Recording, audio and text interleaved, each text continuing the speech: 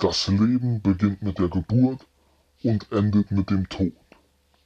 Mit diesen Worten möchte ich euch recht herzlich hier bei Bannys Movie Collection begrüßen und natürlich herzlich willkommen zu einer neuen Ausgabe von Frisch aus dem Kino. Ich habe mir hier bei Terry das Vermächtnis angesehen, doch hier passt dieser Spruch nicht ganz, denn der Film beginnt mit einer Beerdigung und endet sozusagen mit einer Geburt.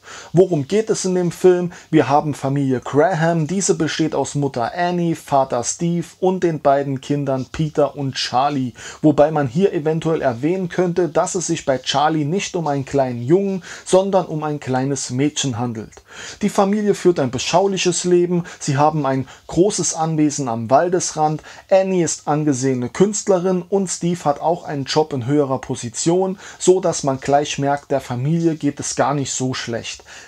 Aber der Film beginnt wie gesagt mit einer Beerdigung und Annies Mutter, sprich die Großmutter der Familie, ist verstorben. Annie hält eine Trauerrede und man merkt hier sofort, der Film hat eine beklemmende, bedrückende Atmosphäre und auch aus der Trauerrede kann man einige Dinge herausfiltern, die einem schon etwas skurril vorkommen und man sich fragt, was stimmt mit dieser Familie nicht.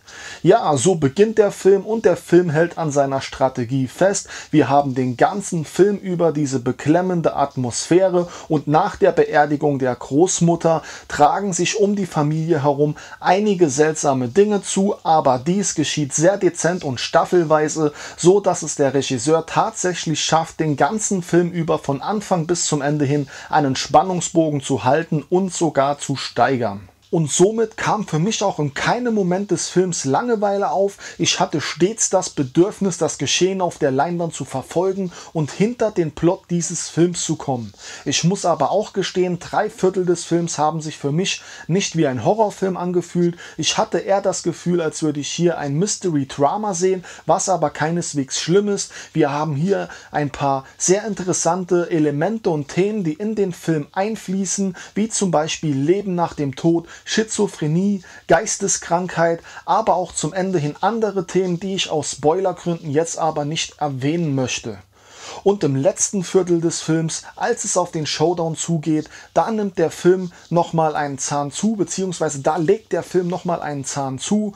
Wir haben hier richtig schöne Gänsehautmomente, mit denen der Film um die Ecke kommt und somit beweist, dass es sich hier doch um einen waschechten Horrorfilm handelt. Wir haben schöne schautrige Szenen, aber auch ein, zwei gut platzierte Schreckmomente, die nicht überhand nehmen. Und so äh, wird aus hier der Terry im Finale noch ein ganz anderer Film als ich ihn zum Anfang der Sichtung vermutet hätte. Mehr möchte ich über den Film gar nicht verraten. Für mich hat sich der Gang ins Kino auf jeden Fall gelohnt. Wir haben mit Here Die Terry einen ganz speziellen eigenen Film, über den ich schon viel Schlechtes gelesen habe, aber auch einiges Gutes. Äh, wir haben hier einen gelungenen Horrorstreifen. Ob es der beste Horrorstreifen der letzten Zeit ist, das muss jeder für sich selbst entscheiden. Zu erwähnen sei hier auch noch der Sound. Dieser ist wirklich sehr gut umgesetzt. Der untermalt das Ganze nochmal extra und lässt einen sehr gut in das Geschehen eintauchen tauchen. Wir haben hier einen Film, der einem irgendwie bekannt vorkommt, aber einen dennoch vor den Kopf stößt, weil er vieles anders macht als seine Mainstream-Kollegen im Genre. Wir haben hier nicht die typischen Jumpscares, die am laufenden Band um die Ecke kommen. Wir haben hier gut platzierte Szenen, die das Ganze vorantreiben, aber nicht im Übermaß existieren. Das Ganze klingt jetzt gut und das ist es auch, aber wie erwähnt, hier bei Terry ist ein ganz spezieller eigener Film, der nicht bei jedem Anklang finden dürfte. Deshalb sollte sich über diesen Film jeder selbst ein Urteil bilden. Es ist ein Film, der schwer zu empfehlen ist, weil man da doch schon den gewissen Geschmack abseits des Mainstreams braucht. Und noch ein Problem könnte der Film haben, äh, wenn man den Film das erste Mal gesehen hat, den Plot kennt und das Mystische entlarvt ist, dann könnte der Film bei der zweiten Zweitsichtung doch etwas an Reiz verlieren. Aber dennoch bekommt hier der Terry von mir 4 von 5 Punkten, denn es ist ein neuartiger, innovativer Horrorstreifen, der mir sehr gut gefallen hat. Ja, in diesem Atemzug möchte ich gleich noch erwähnen, weil im Moment im Internet gerade viele Hates umhergehen, was YouTuber und ihre Kritiken betrifft. Äh, ich bin kein professioneller Kritiker, das steht äh, hier außer Frage. Ähm, ich äh, spiegel hier lediglich meine Erfahrung wieder. Ja, ich mache hier einen Rückblick, eine sogenannte Review, wie ich den Film erlebt habe. Und jeder soll sich über den Film sein eigenes Urteil bilden und selbst entscheiden, ob es ein Film für ihn ist oder nicht. Aber dennoch möchte ich meine Erfahrung hier über YouTube teilen und vielleicht gebe ich mit meinem Rückblick auch den Anstoß für den einen oder anderen, ob der Film ihm zusagt oder nicht.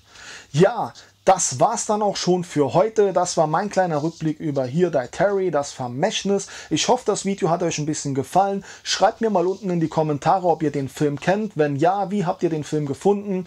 Äh, wenn nicht, geht ihr ihn noch im Kino schauen? Wartet ihr auf die Heimkino-Auswertung? Schreibt's mir unten in die Kommentare.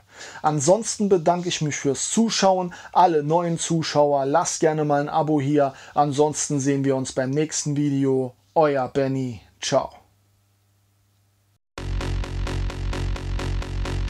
We'll be right